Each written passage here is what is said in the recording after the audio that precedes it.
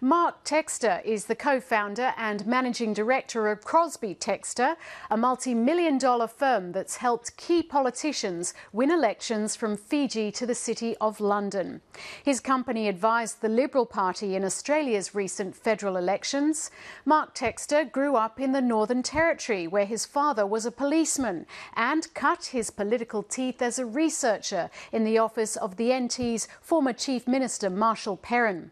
Mark Textor is an economist by training, but for him, the key is to understand the human element behind the statistics and, in particular, political polls.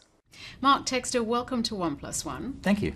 You grew up in Darwin. You were the son of the Deputy Commissioner of Police in the NT. What did your early life tell you about Australian society?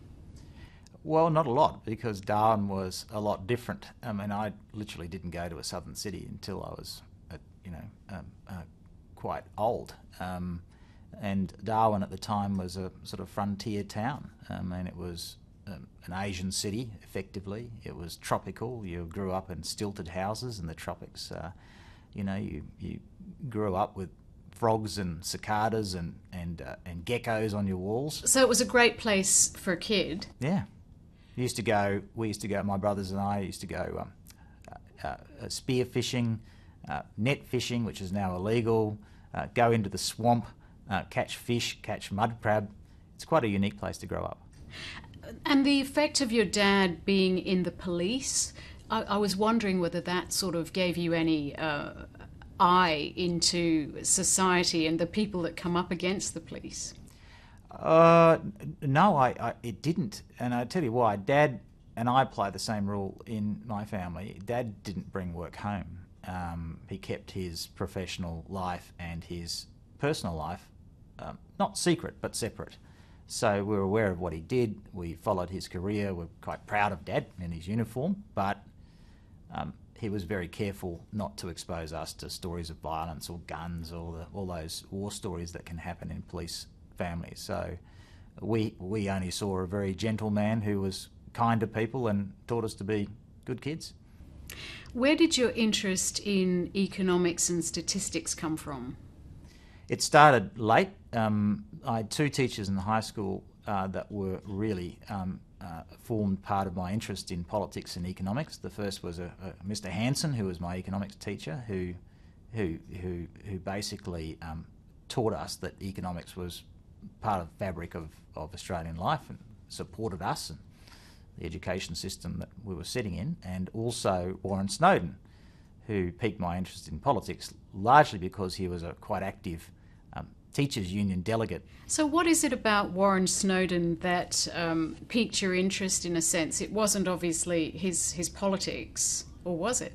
Oh, like I didn't really um, understand the political divide back then. I was completely and utterly disinterested in it, as every teenager should be in a way, because you have other things you want to do.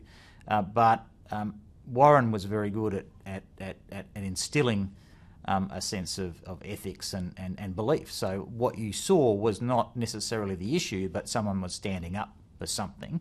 You mightn't have had a particular view about that, but you thought, well, this is interesting. Someone's standing up for something important, and particularly in a place, a sort of one-party political town like Darwin was at the time, that was an interesting thing to see.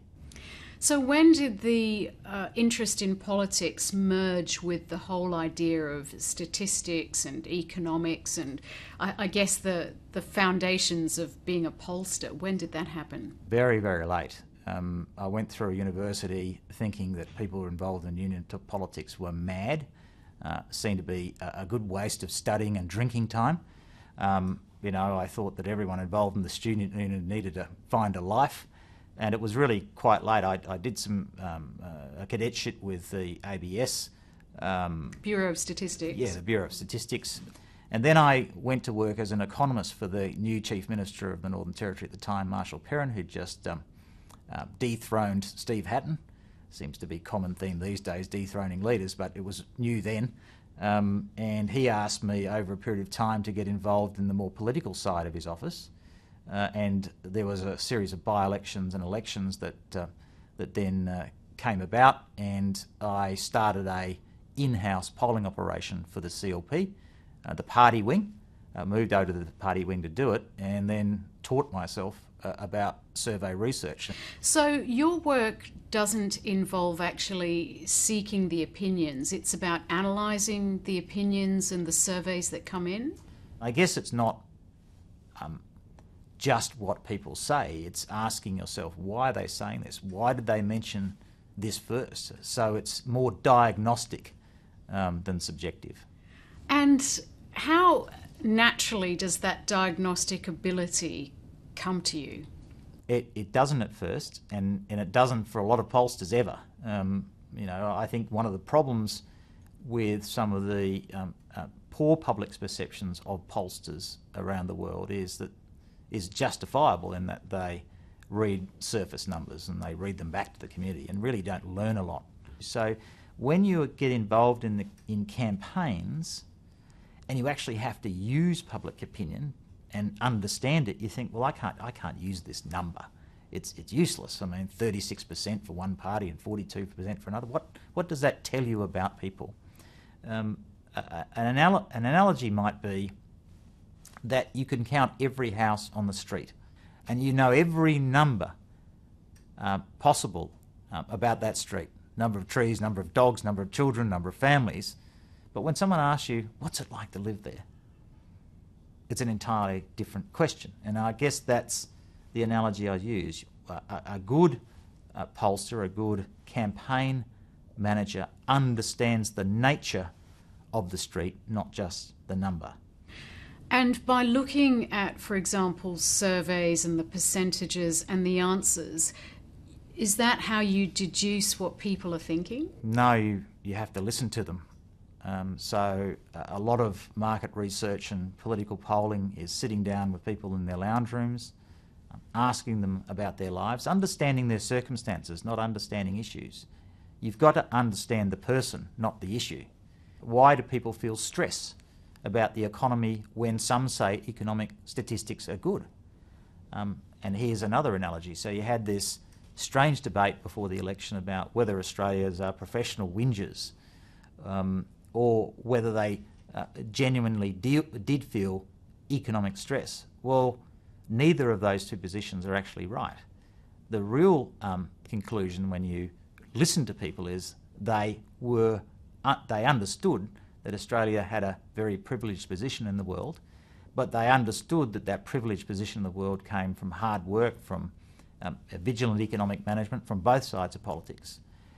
And the question they asked was rather akin to performance anxiety. How do we keep up this good economic performance? And so that brings on uh, the salience of things like e- uh, political competence, managerial competence in government, and other things. So it's often said that parties don't win elections, governments lose them. Do you agree with that? Uh, I never believe things are so binary. Um, they're always much more complex than that. Yes, there's a, there's basically a stage early in a government cycle where um, an opposition um, uh, teases out the weakness of a government. Uh, that then exposes any flaws in the way they're governing the country. And then, of course, later on the cycle, they actually have to present an alternative view to that. And then the third part of that um, journey is to present a more detailed plan about how they'd execute that view.